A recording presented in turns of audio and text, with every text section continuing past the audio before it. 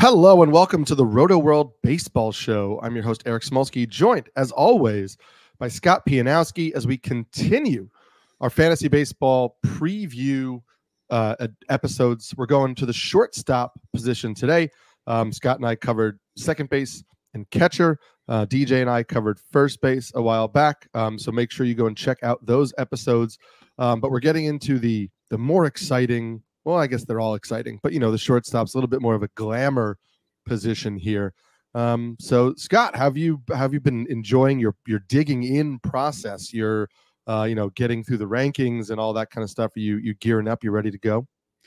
Oh, I'm ready to go. And not only that, but um, the night before we were taping this podcast, I had my first real draft of the season. I was in the LABR mixed league draft, so nothing gets your juices flowing like the actual application of all the work you put mm-hmm. in. That's why you lift all them weights, as Bill Parcells would say. So uh, eager to get to shortstop today, which is a fun position, man. It's you know, you play little league, the best players at shortstop. You, you look at like you know Keith Law prospect rankings. Everybody starts at shortstop, and then it's a matter of do you stay at the position. I I've played fantasy baseball long enough. I remember when there weren't good shortstops, and then yeah.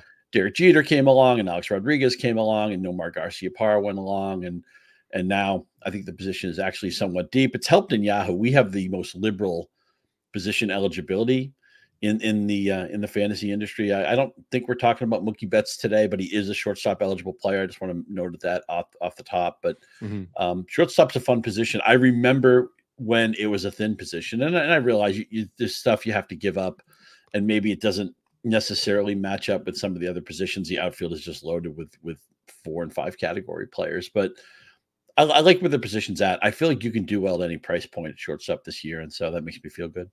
Yeah, this is um, as people will see when we get to our rankings. We were a little more in lockstep in some of the other positions. There's a little bit more differentiation here, which is interesting and exciting because it allows you to kind of see different ways you, you can attack the position.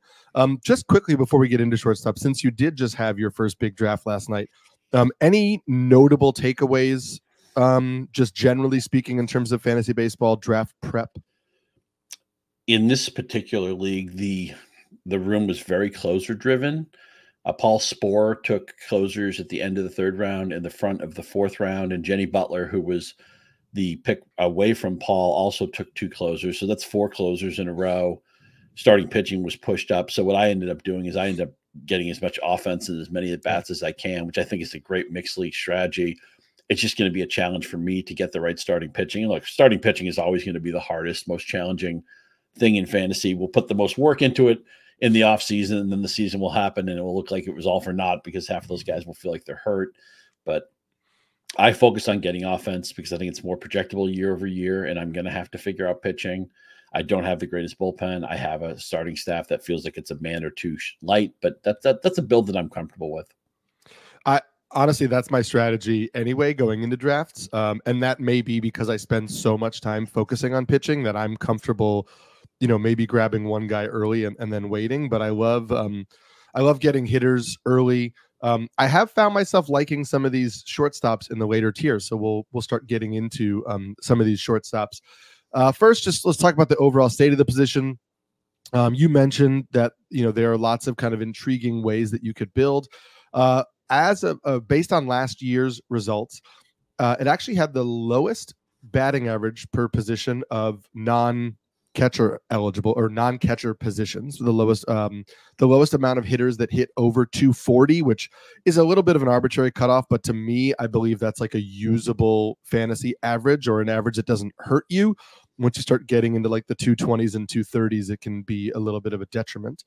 Um Shortstop had the fewest 20 homer hitters um, of the non catcher positions, and only three more shortstops stole over 15 bases uh, from 2022. So obviously, we know that stolen bases were up drastically across the board.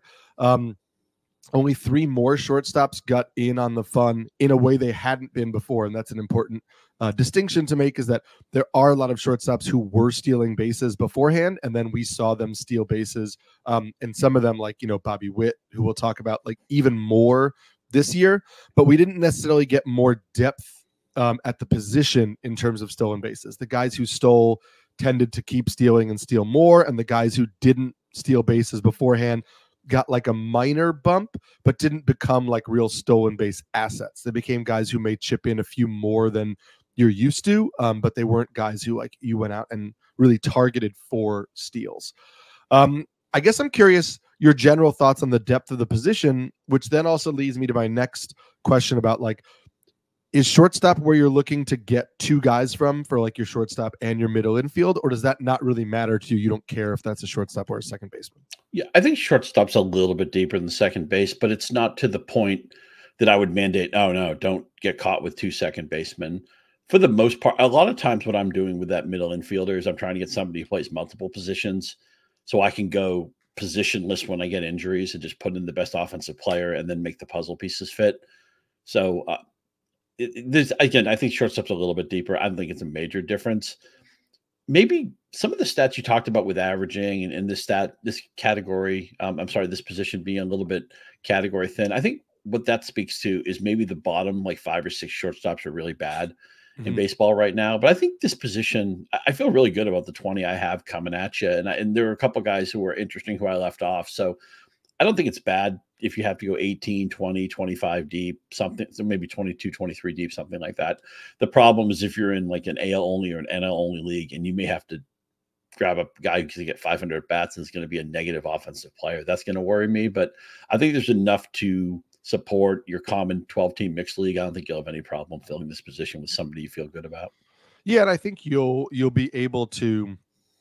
It's not obviously a real a power driven position and hasn't really been. I mean, you know, you mentioned the guys like A Rod and Nomar Garciaparra and stuff in the past that kind of transformed the position. You still have your your guys that will hit for pop at, as a shortstop, but generally speaking, it's a category where you know if you need to find average, if you need to find um, speed, if you need to find runs, it's a little bit easier to do that um, especially after the early rounds. Um, that's where your guys who hit meaningful home runs at shortstop are going early in, you know, your Bobby Witts and your Corey Seagers um, and, you know, Fernando Tatis Jr. and, and stuff like that. Um, so there were a few, there weren't actually even a lot of like notable team changes with shortstops over the offseason. Um, so, I'll skip the first one that you see on our rundown and we'll come back to that because it wasn't a change. We had mentioned Vaughn Grissom being traded to the Red Sox um, in the offseason. He is uh, will be playing second base for the Red Sox, but he is only shortstop eligible in leagues right now. Um, his move to the Red Sox, you talked a little bit before, but is there anything else you want to add? I assume you you like this move for him, obviously, because it locks him into a starting gig. For sure. Um, probably in the bottom third of the lineup to start the season, but there's no guarantee he'll stay there. They're really lefty heavy at the top. I'd like to see another right handed hitter get in there. The type of move the Red Sox should be making. There's been a very disappointing offseason for Boston, a team that should be a big market team that's pretending like they're a middle America small market team. I really don't understand it, but I think it's a good buy low for them. And Grissom is one of those guys. You might draft him as just a bench player. He might even be just under your watch list to begin the season. But I think he'll be. I think his roster tag will probably go up a lot in the first month when people remember that this guy can actually play. He just had one bad season, but he's too young to discount. And I think he'll be a double digit homer, double digit speed guy. When I see that kind of category juice, I think it's mixed league relevant. Yeah, and he's not even going to be somebody we discussed today in our rankings. Mm-hmm. So that that does tell you a little bit about the depth at the position. Um, we just very recently saw Amed Rosario um, sign with the Rays. He had been somebody who was uh, potentially a starting shortstop or second baseman, depending on on where he landed. Um, he's been a pretty bad defensive shortstop the last couple of years. Uh, seems like he might be setting up to be a platoon bat with Brandon Lowe at second base. What, what are your feelings on um, Rosario landing with Tampa? Yeah, Tampa Bay is just one of those teams. They want a different lineup every day. And if Rosario is in the platoon, he'd be on the short side of it, which would mean you're hoping maybe he gets to 300, 350 at bats. He's going to need an injury to draw into relevance. Now, Tampa Bay's been right so often with these types of moves that I'm at least interested that Rosario landed here. But right mm-hmm. now, he doesn't have a path to enough playing time where he should be somebody you're drafting in a typical mixed league. Yeah. So I, I'm a little more optimistic, but I'm still giving him like 400 to 450 because I know he can also play the outfield. And so there's the idea that Tampa could move him around beyond just second. But just like you, I mean, if you give him somewhere between 400 and 450 at bats, um, that doesn't really become you know 12 team mixed league relevant. However, if he's somebody who becomes second base, shortstop, outfield, you know, eligible in your deeper formats on a in a good lineup, um, you know, even as a part-time player, that's somebody that that's intriguing. I think if you're in like a daily moves league, he becomes more interesting. Again, a deeper daily moves league. But because you could move him in and out of the lineup, we know he's going to start against lefties. We know he's good against lefties. Um, you can move him in when he gets those spot starts against righties. So that's interesting to me. Um, his name had been linked with Tim Anderson's name because the two of them were kind of the last remaining middle infielders. Um, we heard today that Tim Anderson, um, the report is that he was offered a contract by the Marlins. Um, there's been no movement yet on whether he accepts that contract. The two have been linked together, obviously, because the Marlins currently are starting Jon Berti at short. Um, if Tim Anderson goes to the Marlins, does that interest you? Or if Tim Anderson goes anywhere, does he interest you? He was a really, really consistent hitter prior to last year when it seemed like everything collapsed. Man, did everything collapse? And I, I took no joy in that. I mean, this guy's won a batting title, hit over 300 four years in a row. And Tim Anderson was the poster child of, oh, regression's going to hit. He's he's not really a 300 hitter. He swings at everything. Look at the walk rate, and he beat that four years in a row. One of my favorite players. But then last year, everything collapsed. A year where just about everything collapsed for Chicago, and now he's age 31 season. Doesn't have a job. I mean, he was just a, a secondary base stealer for the last few years. He hasn't seen 20 stolen bases since 2018 in his best years, he'll hit you double digit home runs, but he's never hit more than 20. He only hit one last year, in Chicago you know, played him for five months of the season. I'm just afraid that it's not uncommon for players to have a career arc like Tim Anderson, where they're a good player, maybe even a quasi star in their 20s, and then they hit a wall in their 30s. I'm just afraid that Tim Anderson may be done as a bona fide major leaguer. Now, he'd make a lot of sense for Miami because Jon Berti you talked about Rosario bouncing around the diamond, maybe being a super utility player. That's kind of what Jon Berti is. Shouldn't really be an everyday regular. Miami could be a playoff contender as they have been the last few seasons. That a lot of players in the team actually want to draft. So I, I think kicking the tires on Anderson on a cheaper deal makes a lot of sense, but I'm not going to draft him with any optimism. He'll have to play his way onto my roster. Yeah, I I get that. Um, I'm a little more optimistic that the the stolen uh, sorry the stolen base. The batting average won't be as empty as it was last mm-hmm. year. I mean this is a guy who was always at least um I mean, really he was a 300 hitter. So i think giving him 270 280 feels better to me than giving him you know the 245 that he hit last year. As you mentioned not a huge stolen base guy but he's hit at least 13 um, in his last three full seasons. So, you know, maybe he's a 275, 280 hitter with 15 stolen bases. And again, if you're in a deeper format that is usable, it's not something you're like incredibly excited about, um, but it is usable. Uh, the last player who didn't change teams, but is maybe entering um, our our discussion for shortstops is Jackson Holliday, who's the top prospect for the Orioles. And uh, they have basically made it clear that he will be given every opportunity to leave camp with the Orioles, presumably as their starting shortstop. Um, he didn't appear in either of our rankings, um, our top 20. So I'm just curious where you're at on him. A, the idea that he may actually be the starting shortstop on a really good team, and B, just your general um, I guess, willingness to roster somebody who is being so aggressively promoted that we don't really know how he's going to adjust to the MLB game. I realize this is no fun to say this, but the type of player that Holliday is 20 years old, hot prospect. If he does make the Orioles out of camp, he'll probably be banging the bottom of the order. I'm just unlikely to be in the shuffle to get him right away. It's fully expecting he'll be a great player. I mean, what a fun team this is with Gunnar Henderson. And we talked about Adley Rutschman being a possible MVP candidate. These guys, there's so much young talent on this team. And It was exciting to see them get a pitcher in Corbin Burnes because we know how badly they need pitching, especially mm-hmm. with Bradish hurt right now. But I just get a figure with Holliday. They're not going to want to put pressure on him if he has and if he makes the club and has any kind of a speed bump, they're just okay. We'll go back to the minors, go beat up on minor league pitching for a while. He's 20 years old. I mean, he just turned 20 at the end of last season. I mean, he's Matt Holliday's kid, which makes you feel a little bit old if you're of a certain age. Because I remember Matt Holliday's entire career, but it's just we we're built as humans to want to be optimistic. I think Jackson Holliday's going to be a superstar. I think every scout who's promoted him is right. I just don't want to expect miracles right away. So this is the type of player I generally don't draft. And when these players are great right away, which happens sometimes, it's there's a lot of FOMO going on, but um, I'm just not the type of player I want to put a lot of expectations on right away. And I think the Orioles have the benefit. I think they're doing the right thing. They're giving him a chance to make the team. They're not promising anything. I just feel like if it's a coin flip, they'll probably think, well, he's 20 years old. Why start the clock right now? Mm-hmm. We, we, can wait on this. So I'm going to be low man on Holliday. And I admit I say that knowing it's no fun and knowing there's some trepidation because sometimes these guys do hit the ground running. I just think it's the wrong way to bet. I agree with you. I mean, I think every time you miss on, you know, uh, Julio Rodriguez type of season, you think, oh, I should have, you know, I really should have been in on it.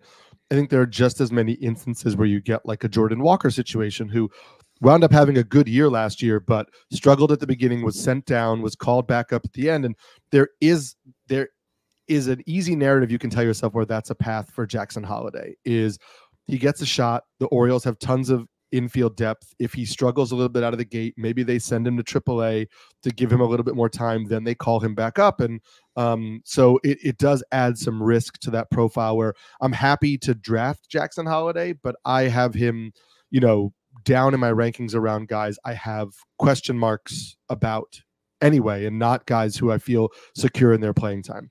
I'm so glad you mentioned Jordan Walker because that's how I love to play this when in doubt is buy in the post type season. Jordan Walker mm-hmm. will not be. We're not going to have a 20 minute discussion on Jordan Walker in the third base or outfield preview. I, I forget where he slots right now, like we would have maybe last year. And that's good. That means the ADP will come down. The expectations will be realistic. It speaks really highly to Jordan Walker that he was did not look over a match as a rookie at a really young age. But last year, near the end of the uh, draft season, late March. I mean, he was going in like seventh, eighth, ninth rounds of drafts. Mm-hmm. That you, are just never going to make a profit on that more often than not. I, I, think it's the wrong way to play.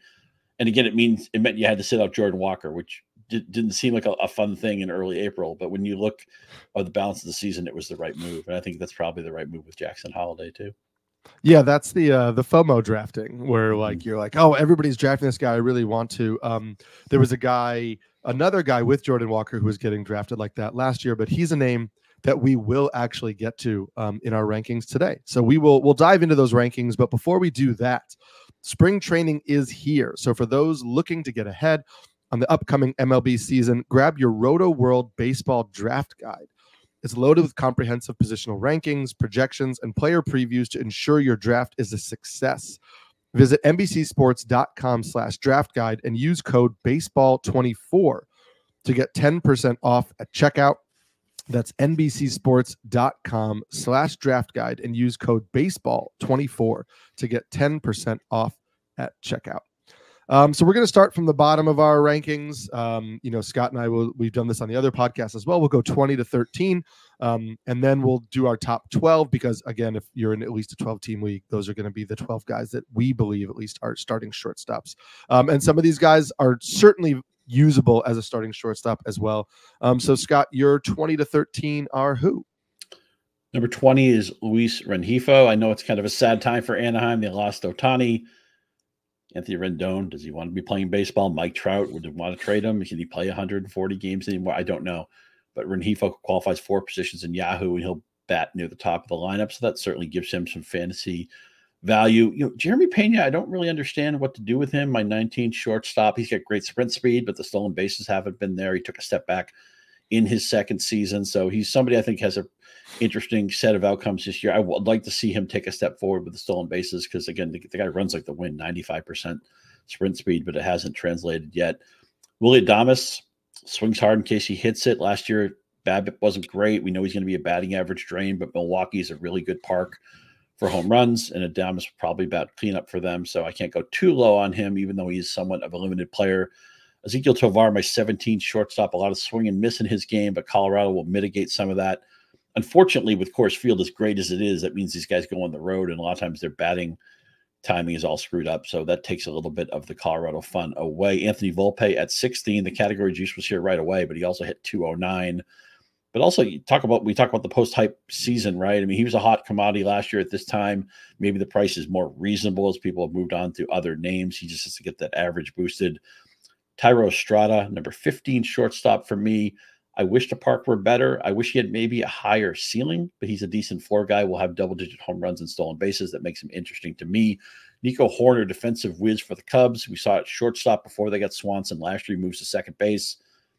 Maybe 10, 12 home runs is probably the cap there, but he might steal 40 bases in a Cubs lineup that I like. I like it more if they can get Cody Bellinger on board. And Oneil Cruz, a couple of cruises on our list, and they're both very similar yeah. players. They are enormous. Uh, their highlights are fa- you know, fabulous. I don't know how much contact they're going to make. Their risk reward picks talk about FOMO.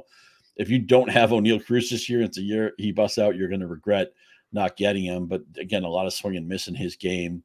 Uh, the, the NL Central is going to be really interesting because there's some fun shortstops, and a, a couple of them are named Cruz, and we could talk about them for 45 minutes. Yeah, and we and we'll definitely talk about uh, both of those guys. Uh, neither one uh, appear in my 20 to 13. Um, so for me, uh, my 20th is Jeremy Pena. Uh, my 19th is Ezequiel Tovar. My 18th is Thairo Estrada. Um, all guys who you had in this range as well. My 17th is Ha-Seong Kim. Um, my 16th shortstop is Anthony Volpe. My 15th shortstop is Trevor Story. My 14th shortstop is Willy Adames. My 13th shortstop is Xander Bogaerts. And my 12th shortstop is Matt McLain. Um, so let's we'll start with the the one name um, that didn't appear on your list at all, um, and it's Trevor Story. Uh, so I'm curious why you're you're down on Story. Um, for me, I'll tell you on my side of it first, at least. Um, I think obviously the health is is a big thing, and he seems to be fully healthy and ready to go. Um, he was a really good defensive shortstop for the Red Sox in the 43 games he played last year. He is going to be their starting shortstop. Um, there are no real defensive concerns that will move him off of that. Uh, 10 stolen bases in 43 games um, suggests that the speed is still there. This is somebody who had stolen 20 bases um, in the the last three full seasons before he got hurt um, in 2022. So I expect 20 home runs, or sorry, I expect 20 steals. I don't know that he'll get back to 20 home runs again, but all indications are that he's healthy and had a really good offseason. Um, and so I think that he gets back to being kind of like a 240 type of hitter who could maybe push for a 2020 season. But I think you get maybe 240, 16, 17, 18 home runs, 20 plus steals, hitting probably in the, you know, like in the middle range of that lineup. I mean, he's not going to hit seven, eight, nine for for that team. Um, and so I think that gives him a decent shot at you know 130 runs plus RBIs. Um, and so I I kind of I kind of like getting a potential 2020 guy down here. All reasonable points. Since he joined the Red Sox two years ago, and I realize he's been hurt in both seasons, so you have to take this with a grain of salt. But 227, 287, 398 slash the average doesn't play in fantasy. Although if he had enough category juice, we could overlook it. But to have that OBP under 300, to have the slugging under 400 is a major red flag for me. I know statistical comps don't always line up with where a player's career trajectory is headed, but I look at some of the names that Story is tied to. Now, the number one comp is Corey Seager. That's good. But he's also comped to Carlos Correa, who's hit a rough patch. We, neither one of us listed him, and I didn't even think about it. Uh, Javi Baez is the third comp to story statistically. Didi Gregorius, a player who ran out of gas around this time, and he was out of baseball. I think uh, he may be kicking around with an invitation somewhere, but he's basically out of baseball in his early 30s. I'm worried that Story is not going to be a player who ages well. There's always been a lot of swing and miss in his game. Colorado mm-hmm. mitigated some of it, and he's in Fenway Park, so I mean, at least he landed another good offensive park. But when you throw in the batting average risk, when you throw in the health risk and we throw in the fact that he hasn't even slugged 400 the last two years, I just see more downside than upside here. I, I, get, I get, I get it. He could maybe be a 2020 guy if he stays healthy, but uh, my days of drafting Trevor Story with any level of proactivity are, are probably over. Fair, I, I understand that. Um, I have him right next to Volpe um, in my rankings, and Volpe is the guy I was alluding to earlier in the mm-hmm. show when I talked about the draft FOMO last year. As everybody um, was really big in on Anthony Volpe and, and trying to get as many shares of him as possible. And as you mentioned, there were some real life issues. I mean, he hit 209 for the Yankees last year, which is not great, but he had 21 home runs and 24 steals. So to me, he and Trevor Story are similar in potential batting average ri- risks, uh, power speed. I, I, believe in Volpe's power a little bit more. Um, I I know that people have this idea that Volpe could emerge as a leadoff hitter for the Yankees, but for me, the the swing and miss has always been a part of his game. I don't think he's he's going to hit for a high enough average that they'll want to hit him leadoff in front of guys like Soto and Judge and you know Stanton or however they they shake that out. Um, so I don't see him hitting leadoff. I think he's probably like an eight nine hitter for them. Um, and I do think that's going to limit the runs and RBIs a little bit. Um, also, like he's a career 262 minor league hitter. Um, and usually we see top prospects kind of like tear up the minor leagues. Um, so there were people who were thinking, oh, he'll hit like 260, 270 as a rookie. And it's like, I don't think he's going to hit better in the majors than he ever hit in the minors. Like that to me doesn't really make sense, at least not in the immediate. So will he be better than a 209 hitter? Sure, but I think maybe that's a that's a 220 hitter. Maybe that's a 230 hitter. Um, so for you, the differentiation between Volpe and Story is youth, health, potential upside with Volpe. Is that kind of what I assume? Yeah, the the trajectory for sure. A, a player in his 20s hasn't had his best season yet versus a player in his 30s who's probably had the best season he's going to have. And also, one thing I, I do take hard in with Volpe, 8.7% walk rate. He's got, and he, he only, you know, the strikeout 27.8%. That's not catastrophic. I, I don't think this is going to be somebody who hits two, not 209 commonly for his career. I think he's probably going to be like a 245, 250 hitter. And last year he hit the low end of his range. Uh, the BABIP was 259 for a player who runs as well as he does. That's very, very low. I, I think there's, I think he actually could easily hit for something that slots in the median for batting average, and you're getting the category juice. Now, I agree with you. I don't think the Yankees are going to bat him lead off, but batting in the bottom half of a New York lineup. This is not the classical New York lineup that maybe we saw 10 or 15 years ago, but it's still a plus lineup.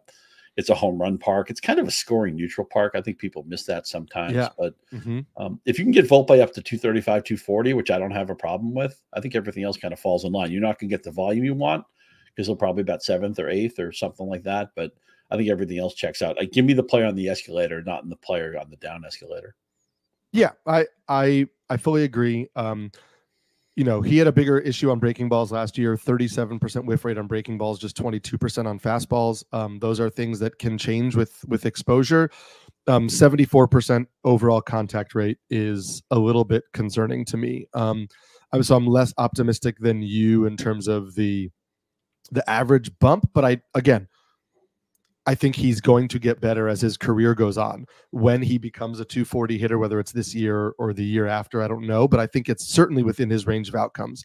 Um, and 2020 feels feels pretty safe for him. Um, Thairo Estrada is somebody that we both had ranked, and I while while 2020 um, might not be possible for him.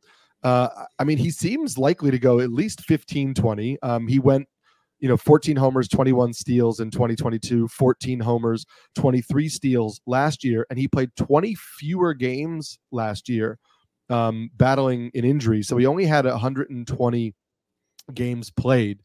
Um, so if you're banking on some sort of health or or more health i think him getting 15 homers 20 steals feels really good.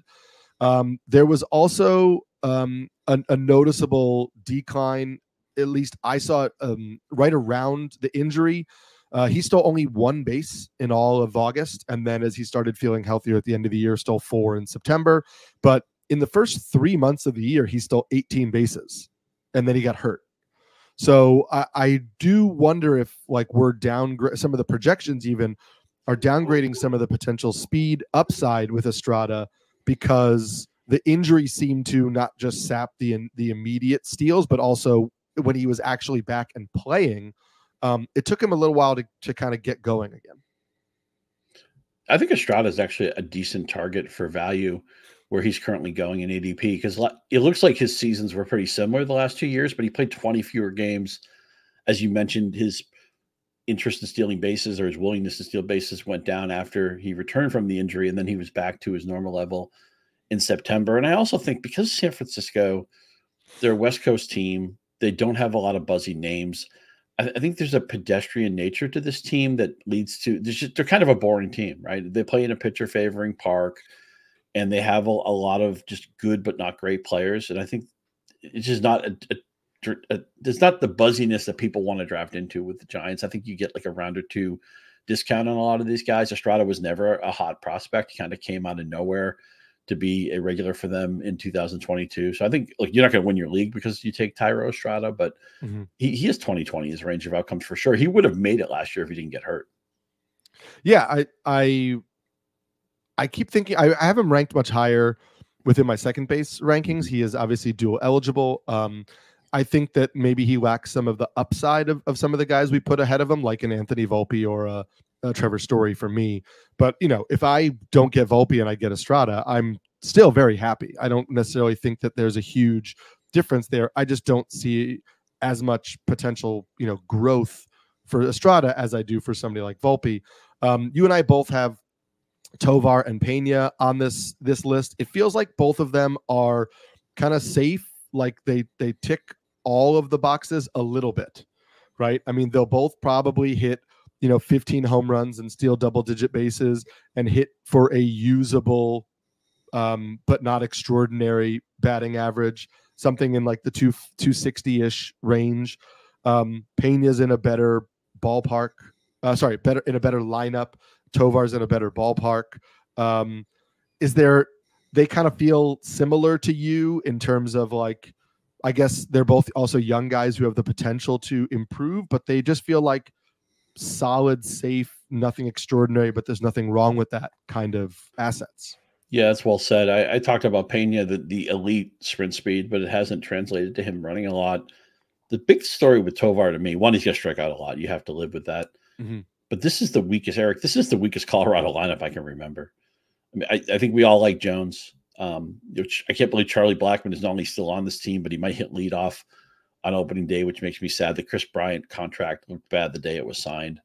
Um, and talk about statistical comps. Don't look at the comps he's listed to; it will just depress the heck out of you. So, Colorado used to be this destination offense for us. Now it's like, yeah, if I don't get Nolan Jones, I, I could live with Tovar as my middle infielder. I wouldn't want him as my fantasy shortstop necessarily, but you know, Diaz will be a playable catcher, but probably not a lot of upside here. I can't remember ever looking at a Colorado lineup and being just depressed about it. Yes, it is. Uh, it is sad. Um, I'm not gonna. There's like, there's just nobody. I, we're still going after Charlie Blackmon, I guess. Who knows? Um, it, it's it's not something that is really exciting. One thing I I found interesting about Pena.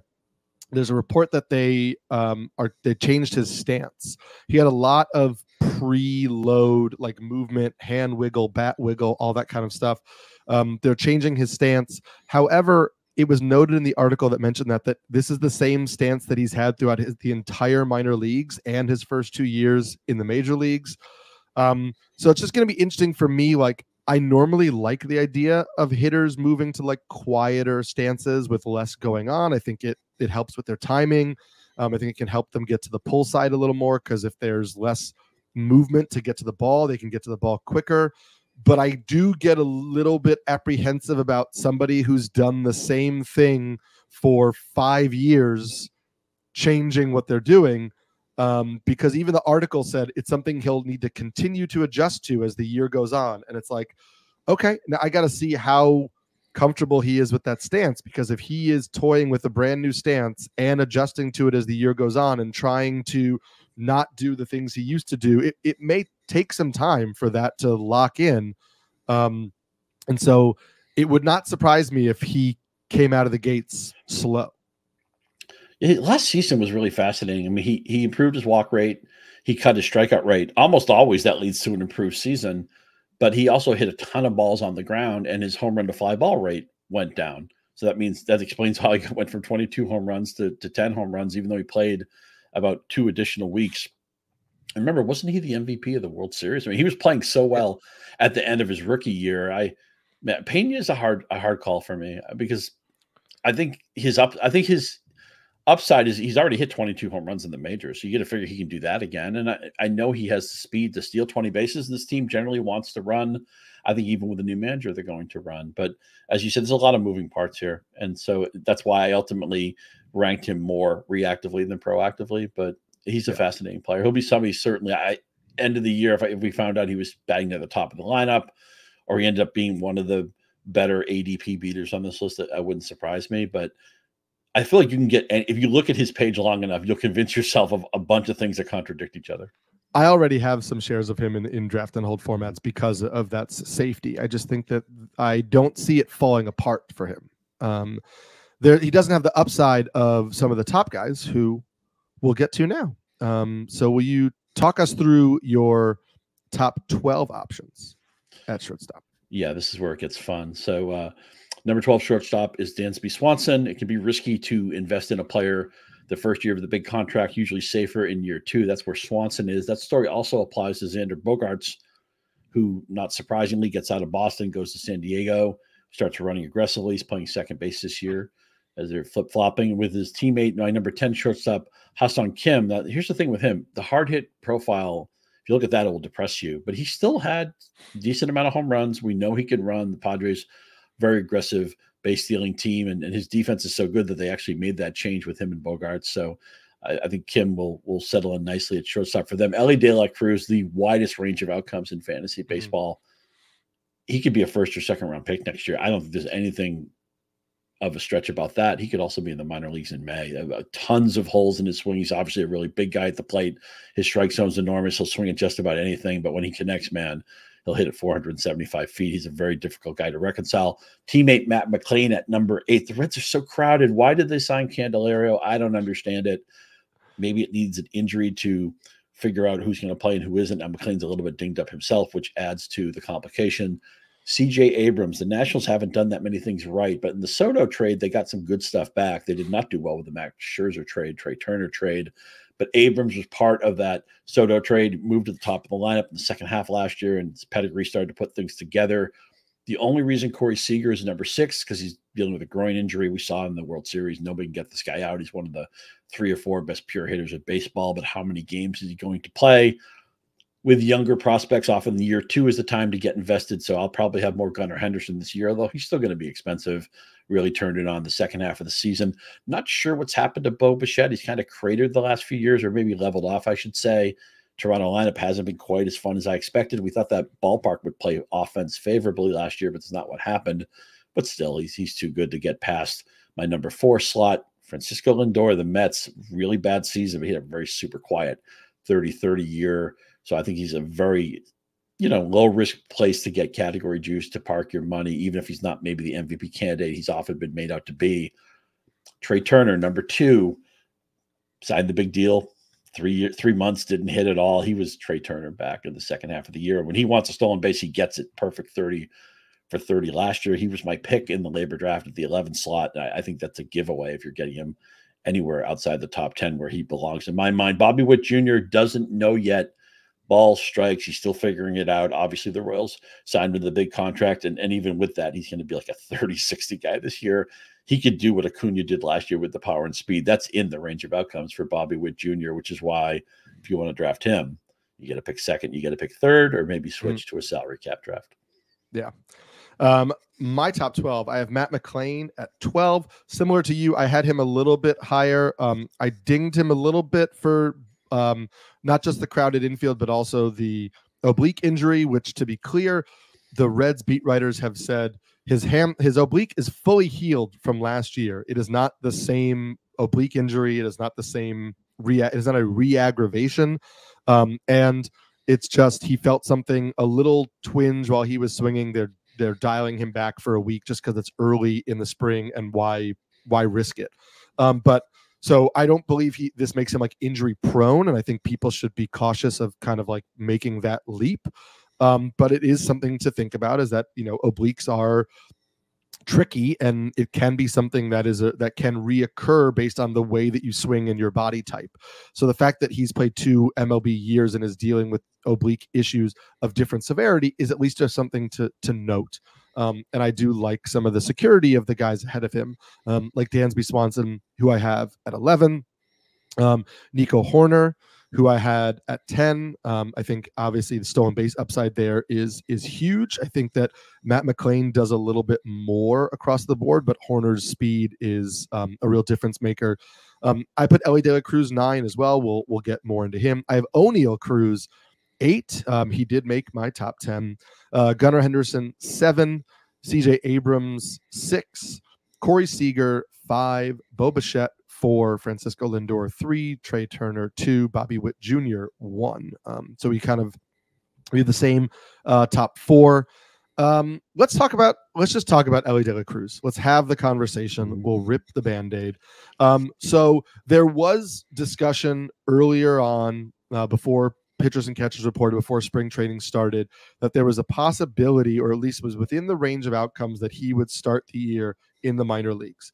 Now, while some people have gone on to Twitter and suggested that was all just fantasy analysts making it up, it was actually Reds beat writers who said it's within the range of outcomes. Not that it's likely to happen, but that understanding that he has some struggles with with contact and with the contact profile, um, and how many people were in the infield, that it was within the range of outcomes. Um, so, you know, it's not fear mongering. It's not um, the idea that like somebody was making up some reason not to draft Elly De La Cruz. The issue with Elly De La Cruz for me is even in the second half of the year, so people were talking about how he made adjustments. He hit 191 in the second half of the year. Uh, the power is very clear. The speed is very clear.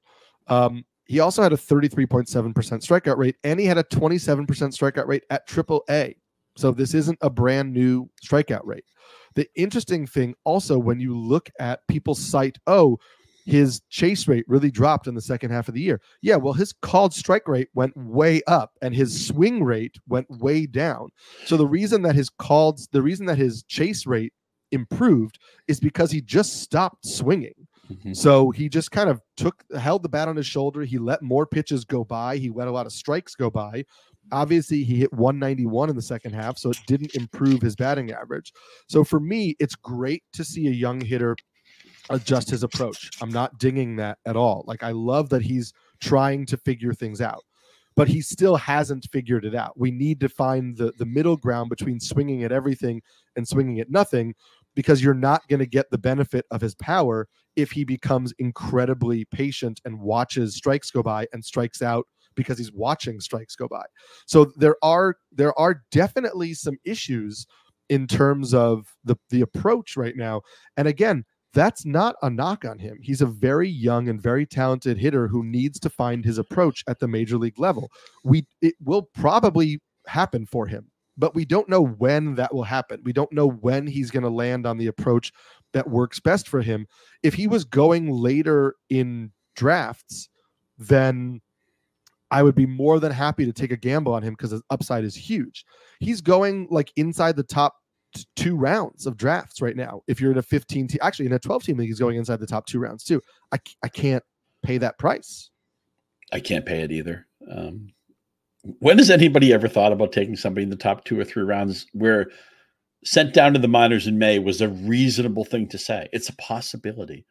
And as you mentioned, you know, he was doing different things last year with the plate discipline. And maybe there's a lot of people in his head you got to do this. You're, you're, swinging too many bad pitches now. All of a sudden, you know he's not swinging at strikes. He should be hammering, or at least get, taking a good cut at. They have such a deep roster. They have so many options. They have guys who can play shortstop and third base. I'm just nervous, and, and he's such a fun player. Sprint speed, 100 percentile. Yeah, we'll never forget the three stolen bases in the same inning against the Brewers. He steals second, he steals third, he steals home. I mean, he's a one of the signature players that baseball can market. He's going to be a great player. It's just probably not going to be this year. I know it's an eat your broccoli type of suggestion, but I don't think you should draft Elly De La Cruz where he's going right now. This market has to correct before I'd be interested. Yeah, and and it's it's sad because again, it makes you quote unquote fade a player that I would like to have because I am rooting for him and I think he's really exciting. I just I can't pay that cost. For me, I think Oneil Cruz is getting lost in the shuffle a little bit. And I actually read again, you know, our job probably requires us to be on Twitter more than we should or want or want to be on Twitter. But I've read a lot of like, oh, he's injury prone, and it's like, is he injury prone? I mean, his injury last year was also he fractured his ankle while sliding into uh, at a collision at home. Like it, he didn't pull a hamstring. He didn't like you know have another real baseball injury where he like had a rotator cuff surgery or whatever. Like it was a freak injury that he is apparently fully healthy from again, the benefit of being 24 years old when you fracture your ankle and not somewhere in your mid 30s, right? Is that he's able to bounce back from that a little bit better than before. Remember that like he was Elly De La Cruz two years ago. We were talking about, oh my God, he hits the ball so hard. He's fast. He like everything about his profile is enticing.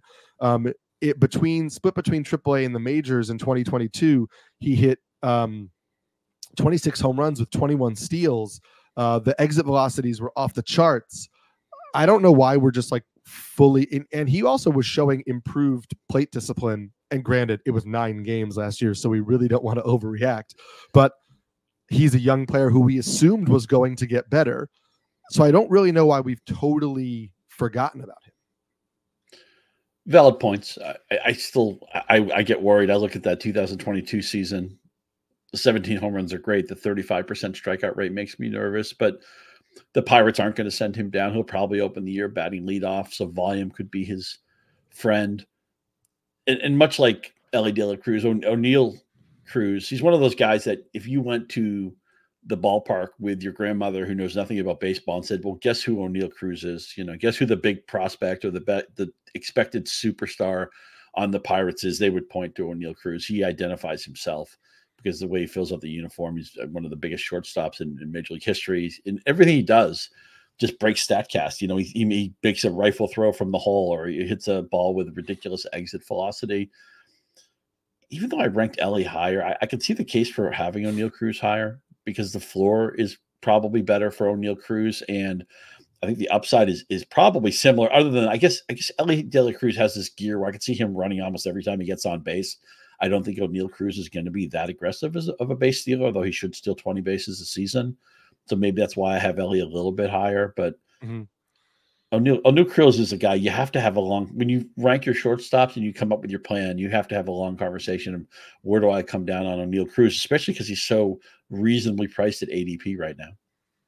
Yeah, I, I'm I'm kind of excited that he gets lost. I've I've had some shares of him in early drafts, and I think also CJ Abrams. People see him being drafted early, um, and you know a lot of that is also the 47 steals from last year, right? We're we're paying for those steals because they are quote I hate the term league winning, but like that is a, a huge chunk of you know a category It's needle moving anyway. We could say yes, that, right? Needle moving for sure.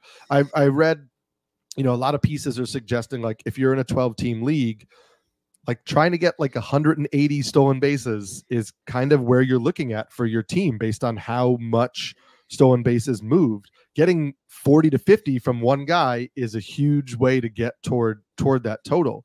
Um, I also thought that, like, you know, he Abrams really, again, he is incredibly young. CJ Abrams is just 23 years old. Um, you know, he was called up by the Padres really early and is continuing to make adjustments.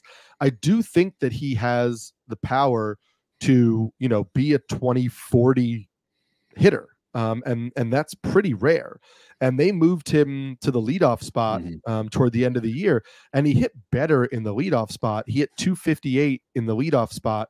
Um, the swing and the strikeout rates was a little bit lower. Maybe that had something to do with protection behind him in the lineup, and you know maybe it was a hot stretch. We don't know. It was only 70 games out of the leadoff spot.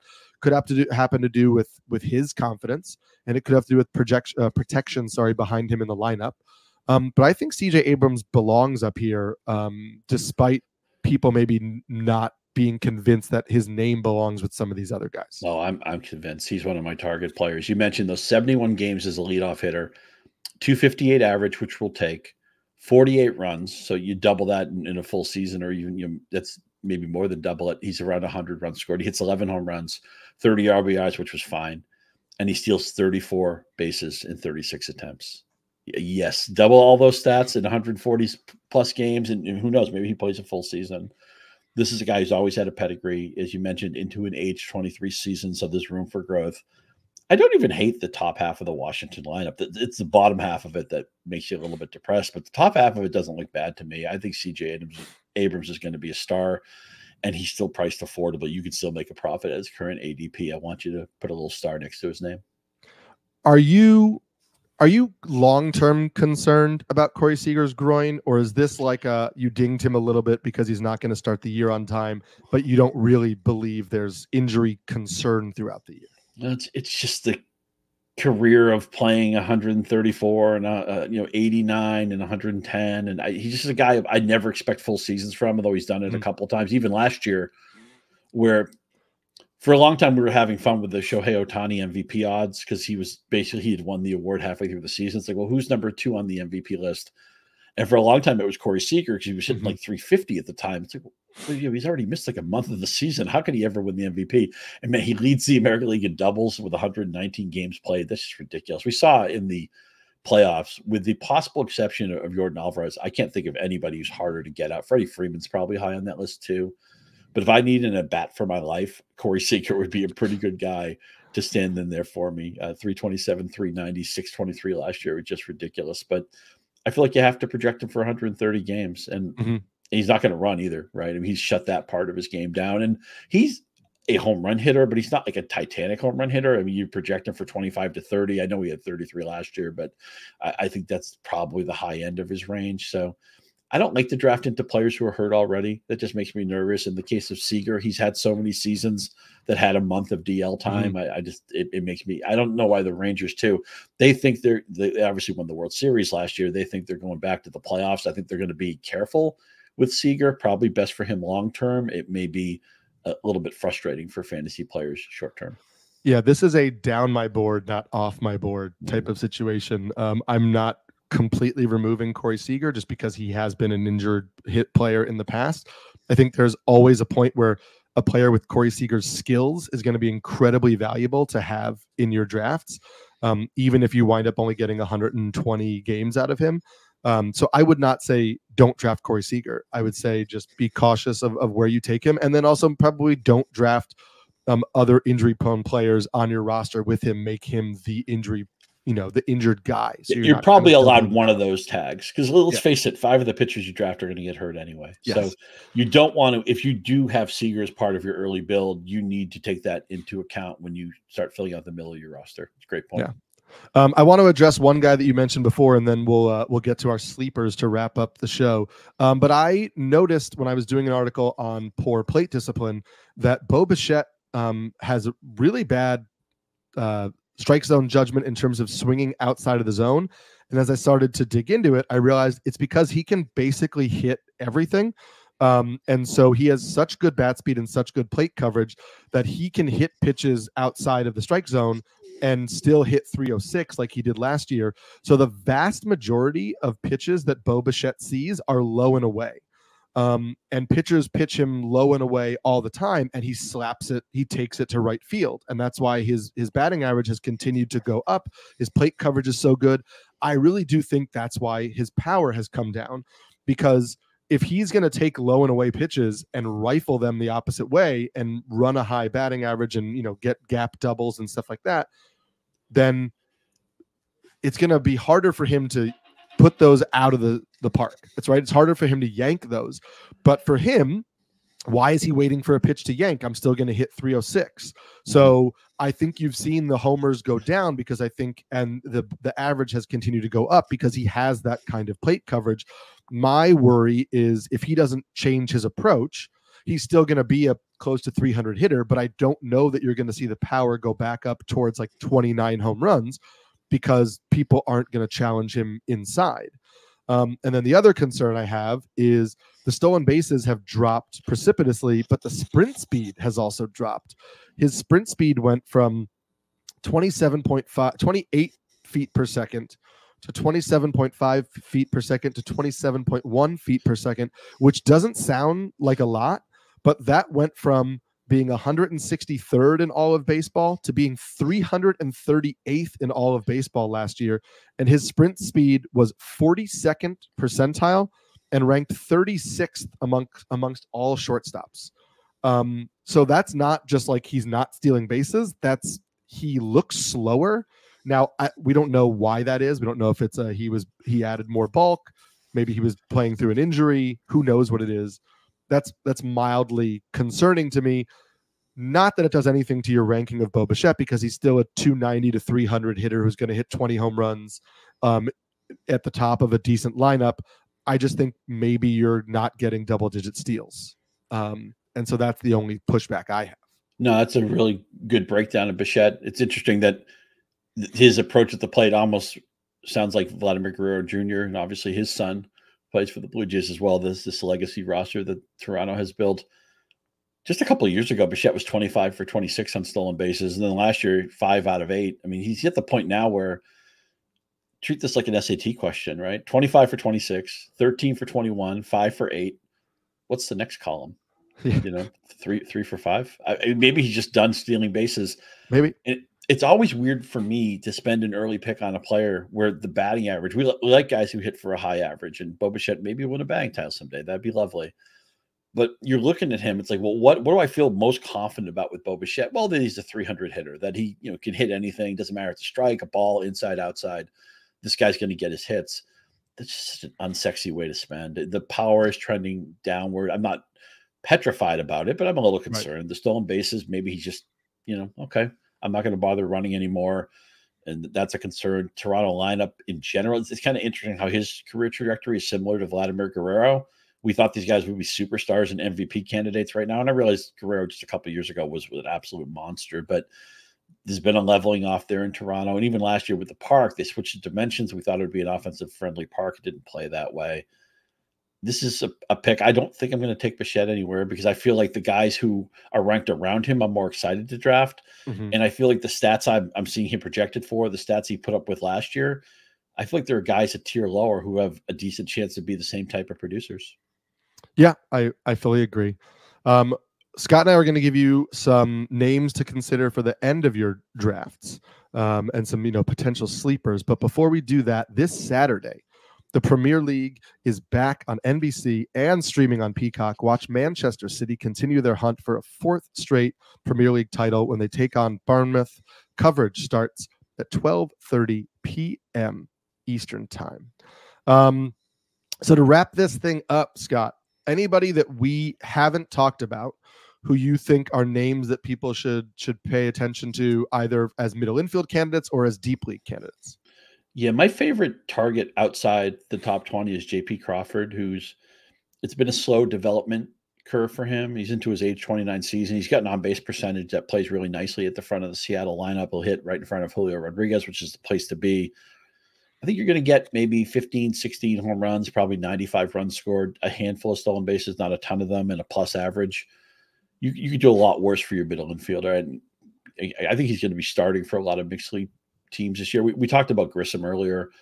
The Red Sox bought low on the right guy. I, I, think eventually he'll percolate towards the top half of this lineup and could be another player who ends up being a double digit, double a double digit home run speed guy. And, and obviously Fenway Park is a boost for anybody's offensive profile. Yeah, I, fully agree. I like both of those guys, uh, and so I'm happy to take them um, in most drafts. I'm a huge Zach Neto fan. Um, I've been doing. He's come up in so many articles I've been doing in the off season, in terms of his quality of contact, um, his plate discipline.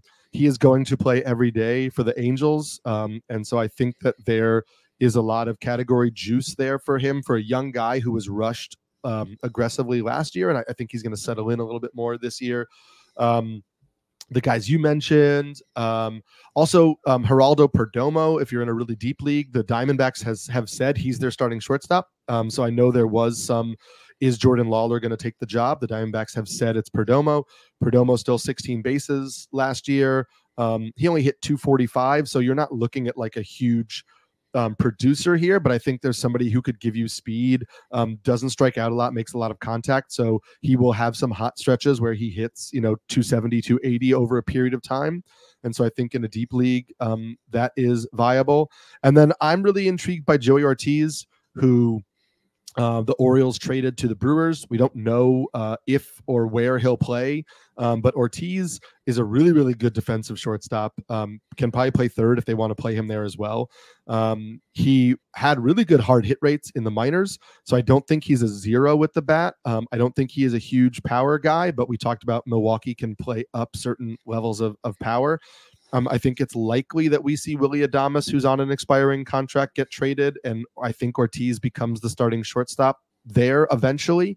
Uh, when that happens, who knows? But but he's a guy I'm looking at. And then also, um, I think it's his Darell Hernaiz, who is an A's prospect who I guess is their starting shortstop. Um, and I've heard some prospect guys at least mention that if you're in like draft and hold formats and things like that, um, that he is somebody to keep an eye on um, because of potential plate appearances. And so um, I'm looking into him a little bit more. Yeah, I can see that. You, you need to know every if you play a mixed league, every lineup is important. And I realize in Oakland, you know, you might think, well, okay, I want Zack Gelof and that's it. You know, I I, I get that. You know, Esteury Ruiz will steal 60 bases and have, you know, five home runs that's fine. But they still are gonna, you know, they, they'll put nine guys in the lineup every day, and they're gonna face some bad pitchers sometimes too. So you need to know who's starting for even the worst teams in baseball. I know Oakland's gonna win 55 games. I know the ballpark situation is really depressing, but that doesn't mean that some, you know, three or four guys in this lineup will end up being fantasy valuable, and maybe Hernaiz is one of them. Right, like Paul DeJong, starting shortstop for the Chicago White Sox. Um, at some point in time, you're gonna think about picking him up off waivers he's going to hit four and, home runs in a week, and you're going to go, should I? That's that's where we're you. Bet, you mentioned the White Sox. I just did a, a pitching piece for Yahoo, and obviously we, we have the pitching uh, podcast to come later in the spring, but you want pitchers of the AL Central. There are so yeah. many soft landings, and there's really nobody I'm petrified of, right? I mean, the mm-hmm. Twins have a decent lineup. You could squint and see some upside in the Tigers lineup, although there's going to be three or four dead spots, and those are the good teams the Guardians offense depresses me, and we'll talk about that on the third base preview. And Chicago, what went wrong? This looked like the the hot up and coming team two or three years ago, and it feels like so many of their young players have just totally. I mean, Yoan Moncada was supposed to be a star by now. Eloy Jimenez was supposed to be winning RBI titles and getting MVP traction, and it just you know Dylan Cease was supposed to be like a sleeper Cy Young Award winner. It feels like so many, and now he's like walking six guys every start. It feels like I it's just gotten really sad in Chicago. It did not pan out. Um, and it's not sad here in our discussion of shortstops, um, which got uh, really interesting. A lot of names, hopefully, we uncovered for you. Um, a lot of different paths you could take in your drafts. Um, as a reminder, you can follow us both on Twitter or X. Um, I am at samskiNYC. Scott is at Scott underscore Pianowski. Um, and we'll be back on the next episode where we'll look at third baseman. So we'll see you next time on the Rotoworld Baseball Show.